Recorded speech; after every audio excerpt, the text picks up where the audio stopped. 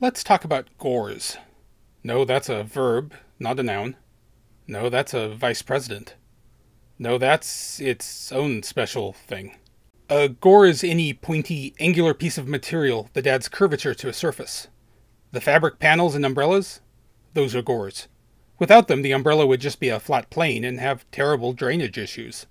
The name probably comes from the old Germanic word for spear, gar, as in the opening line of Beowulf. We Gardena, meaning we spear Danes. So they have a pretty cool etymology, but I hope to convince you they're even cooler than that because cartography.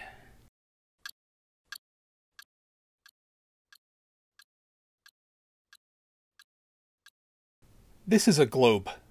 A terrestrial globe because it represents the Earth. This is a celestial globe, which represents the heavens. Celestial globes are pretty rare now, but it used to be that globes almost always came in pairs. They're also kind of a trip, because the constellations are all shown backwards. They're the sphere of stars as seen from the outside. If you want to use them astronomically, you have to imagine yourself inside, at the center of the sphere, looking out. Making a globe is conceptually pretty simple glue a map to a sphere. But how do you make a flat map fit onto a spherical surface? It's the problem of map projections all over again, but backwards. We can fudge it a bit, luckily, since wet paper will mold itself to a curve. To a certain degree, anyway. As long as you cut the paper into thin enough strips, they will conform to the sphere without wrinkles. These strips are called gores. If they are going to completely cover the globe without overlapping, the gores will need to be a very specific shape. We know their length, that's the distance from pole to pole on the globe, or half the circumference. We roughly know the width of the strips in the middle, at the equator. Divide the circumference of the globe by the number of gores you want to use. And we know they have to come to points at either end, as they all have to converge at the pole. Though real globes tend to add caps at the poles, as getting all those infinitely thin gore tips to join perfectly doesn't work very well in the real world. And between those two points, they're going to be smooth continuous curves, Something like this. But what shape is it exactly, and how do we construct it? Let's think of the orange wedge each gore represents. We'll divide that into evenly spaced sections, which I'll call stations. Each station will have a different width. Now we can start our gore by drawing a line that is as long as half the circumference of the sphere. Divide it into the same number of segments. Now take the width at each station on the orange wedge and transfer it to the equivalent point on the gore line. Once all these are transferred, fill in the curve between them. We could do this literally by taking measurements off a physical globe, and that would probably be more than accurate enough. But that requires you to already have a globe of the correct size, so let's approach this a bit more rigorously. It will come in useful later. First, how do we divide the circumference into segments of equal length? Because this is a circle, it is easily done by dividing the circle into sectors of equal angles. If we wanted 10 segments, just use sectors of 18 degrees. Now we need to calculate the width of the wedge at every station. If we zoom in and look at it from the side, we'll find they all look like this isosceles triangle. The angle at the pointy end is determined by how many gores into which we're cutting the original sphere. Let's say we're going for 12, so each one is 360 divided by 12 equals 30 degrees wide. The legs of the triangle are how far the division points are from the vertical axis of the sphere. We'll call it L, and it's given by the sine of the angle for this station, times the radius of the sphere. What we want is the width of this top edge, as that is the width of the gore at this point. That's the chord of the angle theta times L, but sadly the chord is not a common trigonometric function these days. In more familiar terms, it's defined as 2 times sine of theta over 2, but don't worry about remembering that. It's easy enough to figure out just using the diagram we already have. If we cut the triangle in half, we get a nice right triangle with an angle of theta over 2 and a hypotenuse of length L. Sine equals opposite over hypotenuse, so sine of theta over 2 equals x over L, thus x equals sine of theta over 2 times L. Twice that is 2 times sine of theta over 2 times L, or the chord of theta times L, all of which are just different names for the top line we were looking for in the first place. We now have everything we need to define our gore. Do this at every station, Add the points to the gore, and then fill in a nice continuous curve between those points. Done. That's all well and good if you have a calculator or a book of trig tables. So how would this have been done back in the day? I found this paper, on the construction of globe gores and the preparation of spheres in the 16th century to get an idea of how they would have done it. In 1527, Heinrich Glarean published a fairly naive approach, approximating the gores by using an arc with radius 5 sixths of the circumference of the sphere to be covered. Practical, maybe, but not very satisfying. Sometime around 1550, Philip Imser wrote some notes on a better system. First, we need a projection of the sphere with all the concentric circles of the stations marked on it. Luckily, this is pretty easy to construct. Draw a circle with the same radius as the sphere. Subdivide one quadrant of it with as many stations as you want. Philip Imser went with 8, but it's an arbitrary choice. The more there are, the more work you'll have to do, that's all. Take the sine of each of those angles by transferring its height onto the central axis of the circle. Draw circles using those radii, concentrically nested within each other. This gives us the projection we needed.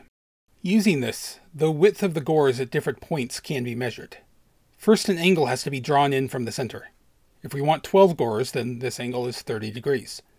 Every place it crosses one of our concentric circles, the distance from there to where that circle crosses the vertical gives us the width of the gore.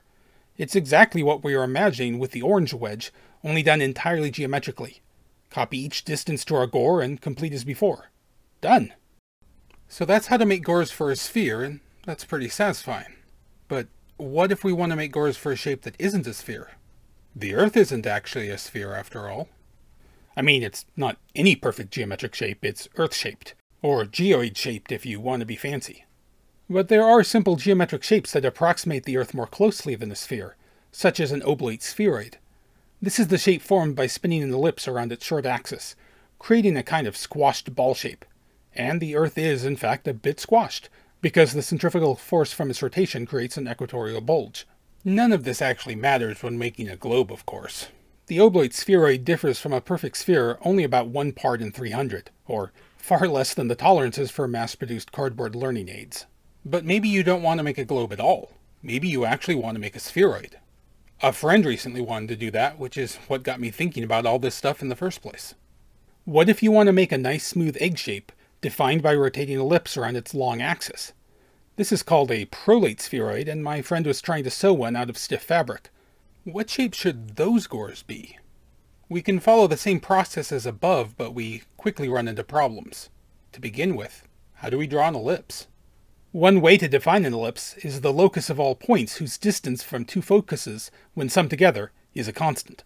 So if you drive nails for those two foci and put a loop of string around them, you'll draw an ellipse if you run a pencil around keeping the string taut. The length of the loop doesn't change, nor does the distance between the two nails. Thus we know that the sum of the distances from the pencil to each nail also always sum to a constant value, giving us an ellipse. Neat, but not very practical for drafting. Getting the exact right string length is next to impossible, and nails have widths that mess things up, etc. You can also use some neat properties of an ellipse to our advantage by drawing a circle nested concentrically inside another circle. The smallest circle defines the minor diameter of the ellipse we want, and the larger circle the major diameter.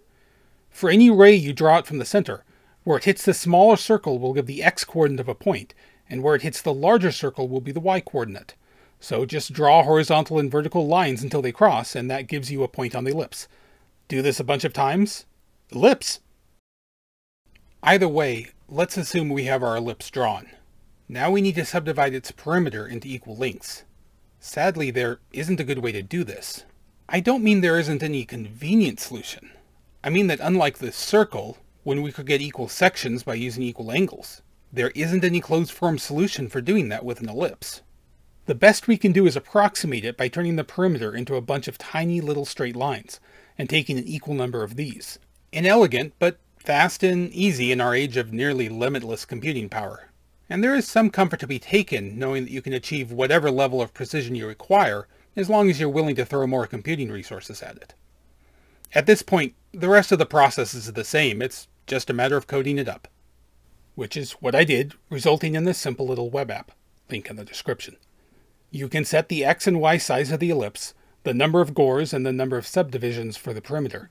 Using these, it will give you gores to approximate the shape formed by rotating that ellipse around its x-axis. And it worked, at least well enough for my friend's purposes. I couldn't stop thinking about the problem, though. How could this be done without modern computing equipment?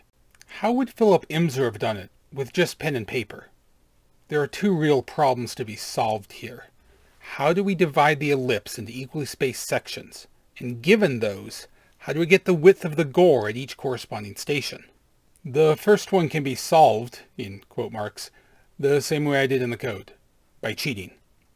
We can't measure the lengths directly, so we'll just have to assume that if we break it into enough small straight lines, that'll be close enough. This can be done with a pair of dividers set to about 1 millimeter wide, walking them along the curve and counting the number of steps. In this example, I'm leaving a mark every 5 steps, which will be the stations for this construction. The gore can now be started by drawing its central axis and walking it with the dividers at the same setting. Every 5 steps, make a mark. These correspond to the stations on the ellipse. Going back to the ellipse, draw vertical lines from each marked point down to the axis. This is the distance which will determine how wide the gore has to be at that station. The longer the distance, the wider the gore will be there. Draw vertical lines from all the stations on the gore as well, as we'll be using those to mark the widths. Now we return to the same cross-section view we saw on the sphere. We know this length L because it's the vertical line we just marked. The angle theta is again set by the number of gores we want to generate. The fewer the total number, the wider the gores will be, of course. How do we do this using pencil and paper, though? First, we need to draw the triangle, using the angle as determined by the number of gores. It would be best if this were a power of 2, as we can always bisect angles using the tools of the good book. If you would all turn your hymnals to Book 1, Proposition 9. Let the angle BAC be the given rectilinear angle. It is required to bisect it. Take an arbitrary point D on AB. Cut off AE from AC equal to AD and join DE. Construct the equilateral triangle DEF on DE and join AF. I say that the angle BAC is bisected by the straight line AF. Since AD equals AE and AF is common, therefore the two sides AD and AF equal the two sides EA and AF respectively and the base DF equals the base EF, therefore the angle DAF equals the angle EAF. Therefore, the given rectilinear angle BAC is bisected by the straight line AF. Amen. In this example, I'm going to use a total of 8 gores, which means bisecting a straight line twice. But you can use a protractor if you like for any number of gores, just divide 360 by the total number to get the angle.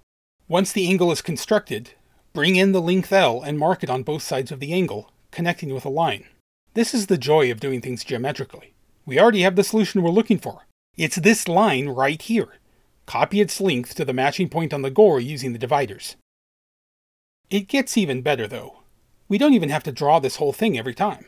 The angle isn't changing, just the length L. So we can draw the angle once and then for every station, use the dividers to copy the length of the vertical line, mark it on one side of the angle, swing the dividers over to the far side of the angle, and reset the dividers to get the distance between those two points. As shown, this gives us the width we were looking for, but because we want it centered on the axis of the gore, it would actually be more convenient to use half the width, which could then be marked on either side. It's easy to generate this instead by dividing the angle theta in half and using that for the chord generator triangle. Repeat for every station and you've got a gore, or at least a set of points on the perimeter of a gore, for most purposes, a dozen or two will be more than enough, but you can always add as many as you have patience for. I found this solution very pleasing, as I really enjoy trying to break out of the modern algebraic mindset. But I couldn't rest on my smugness for too long, as I realized something. Nothing here is actually dependent on the shape being an ellipse. We subdivide its perimeter into sections of equal length, and we measure how far those are from the central axis but neither of those operations really care what shape the curve is. So how does this handle other surfaces of revolution? Only one way to find out. Let's draw an arbitrary curve. Let's make it really hard even, doubling back on itself, something that would be particularly unpleasant to deal with algebraically. And then we do all the same things. Walk the dividers to subdivide the curve. Create our chord generator for half the desired gore angle transfer lengths L from the curve to the chord generator, and use the chord it generates to mark our widths on the gore. Copy the gore, cut out as many as we need, and join them up. And it actually works. A generalized pencil and paper construction for any surface of revolution. Now that is satisfying. I hope you enjoyed this excursion into practical geometry. If you ever end up using it in a project, please let me know. And uh, if you want to encourage more random videos like this, like and subscribe, I guess. Happy Solstice!